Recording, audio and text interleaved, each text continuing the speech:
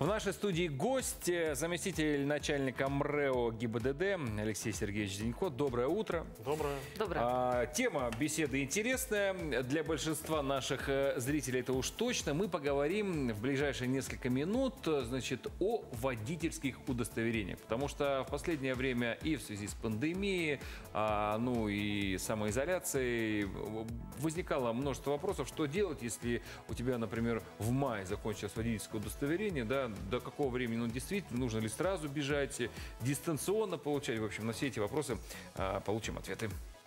С чего начнем? Ну, сейчас, во-первых, давайте начнем с того, что сейчас, как вот мы уже за кадром поговорили, можно получать в обычном порядке.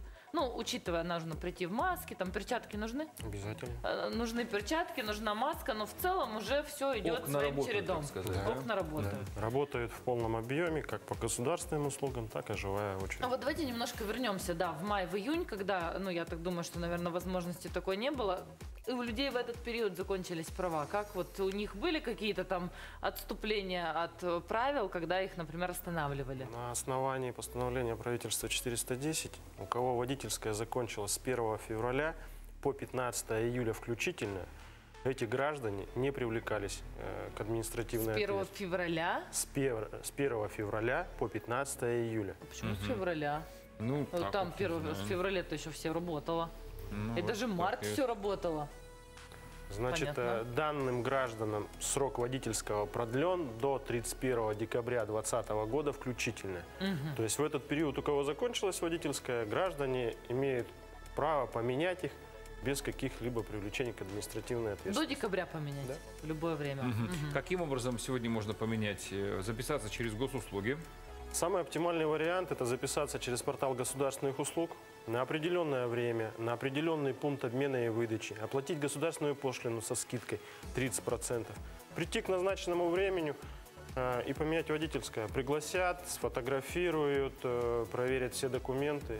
Я просто вспоминаю, э, когда получали там еще даже 10 лет назад, ты в очередь, там, я не знаю, мне кажется, я часа полтора или два тогда провела в очереди, а сейчас вот в декабре я делала уже через госуслуги. Пришел, тут же все подал, никаких ни очередей, ни проблем. Единственный у меня всегда вопрос, почему на правах мы все такие страшные? Женя, говорите за себя. Алексей Сергеевич, Ну, что нужно, какой пакет документов э, для того, чтобы поменять водительское удостоверение, у которого истек срок годности? Во-первых, паспорт гражданина, Так. медицинская справка, старое водительское удостоверение и личное присутствие. И личное в присутствие. каких случаях медицинская справка нужна? Только при замене? Вот, например, я не знаю, человек потерял водительское удостоверение, но у него срок еще не закончился, или поменял фамилию, или еще какие-то ситуации. Данные граждане могут получить водительское удостоверение на оставшийся срок старого водительского. Если они хотят получить водительское на 10 лет, новое уже, Тогда то они обязаны предоставить медицинскую справку. Мгм. А сколько справка сейчас работает, так скажем, действует? Один год срок действия медицинского заключения. Смотрите, а, справка выдается. У меня все время просто вопрос такой был. Вот справка на один год, а права на 10 лет. А если через два года с человеком что-то случается, ухудшается зрение, э, психическое расстройство, это же не Ну да, учитывается 10 уже? лет срок-то приличный. Да, э, значит, если у гражданина ухудшается зрение, какие-то другие медицинские показатели, это все отправляется в медицинское учреждение.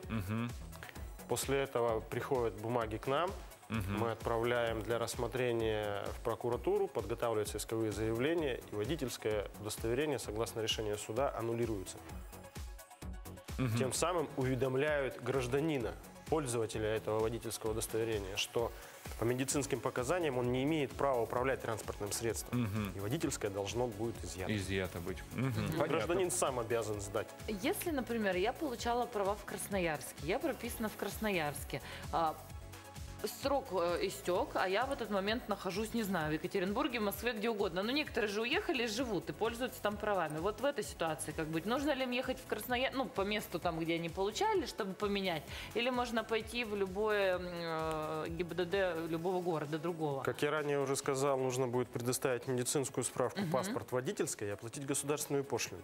То есть вы проходите в том месте, где находитесь, медицинское свидетельство, берете медицинскую справку, идете в подразделение ГИБДД. А, то есть неважно, э, в Неважно. каком ты в этот момент городе находишься, в любом тебе э, выдадут права при условии, ну, достаточно. Да, достаточного пакета документов. Мгм. Если прослушали, не запомнили, где можно почитать, на каком сайте или, может быть, Официальный сайт gibdd.ru, Мгм.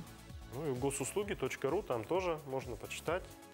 Да, записаться. И помните, не только там можно со скидкой оплатить пошлину на получение водительского удостоверения, но и других э, документов, такие как паспорт, э, загранпаспорт и так далее. В общем, пользуйтесь. э, И до декабря этого месяца успевайте обменять свое водительское удостоверение, чтобы оно потом не перешло в ранг недействительных.